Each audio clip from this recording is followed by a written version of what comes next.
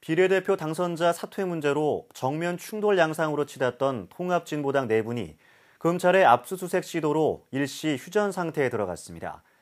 하지만 통합진보당은 내후 외환으로 패닉 상태에 빠졌습니다. 육덕수 기자가 보도합니다. 오늘은 통합진보당 혁신 비대위원회가 제시한 비례대표 당선자와 후보자들의 사퇴에 의한 마지막 날로 끝까지 사퇴를 거부한 구당권파의 이석기, 김재현 당선자에 대한 출당 등 구체적인 제재안이 논의될 예정이었습니다. 이 경우 평행선을 달린 혁신 비대위와 당원 비대위, 진보당 두 세력 간의 격한 정면 충돌은 불가피해 보였습니다. 하지만 오늘 오전부터 시작된 비례대표 경선 부정에 대한 검찰의 동시다발적인 압수수색 시도에 진보당 양측은 갑작스런 휴전 상태에 들어갔습니다. 혁신 비대위와 당원 비대위 양측은 사퇴 이후 처음으로 한 목소리를 내며 검찰과 대치에 나서 검찰 수사를 강하게 비판했습니다.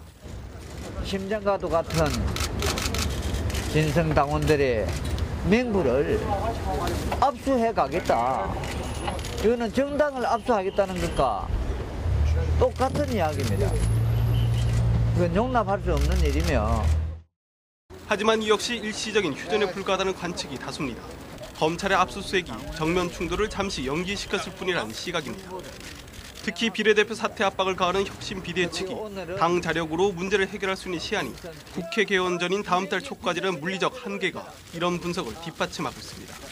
이 때문에 검찰의 압수수색 상황이 종료되면 이르면 내일 오전이라도 혁신 비대위가 사퇴 거부자에 대한 제재안 마련에 들어갈 것으로 보여 진보당은 또다시 격심한 내용에 빠질 것으로 보입니다. 국회에서 CBS 뉴스 육덕수입니다.